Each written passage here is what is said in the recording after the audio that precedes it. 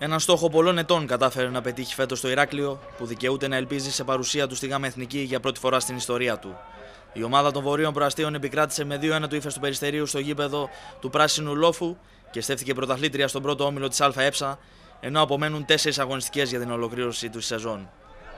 Οι γηπεδούχοι μπήκαν δυνατά στο μάτς και ουσιαστικά το καθάρισαν από το πρώτο ημίχρονο.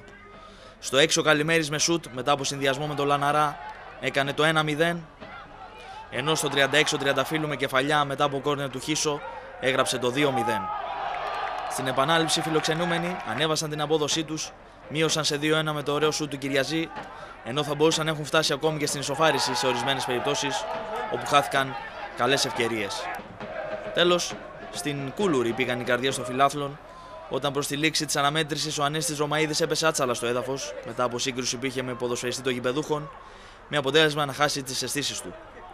Αμέσως επενέβη ο γιατρός του αγώνα, ο οποίος διαπίστωσε πως ευτυχώς δεν του είχε γυρίσει η γλώσσα, με αποτέλεσμα το έργο του να γίνει πιο εύκολο. Το τελευταίο σφύριγμα βρήκε το Ηράκλειο να πανηγυρίζει την κατάκτηση του πρωταθλήματος απολύτως δίκαια και τον ύφεστο να σκέφτεται τη συνέχεια που προβλέπεται δύσκολη.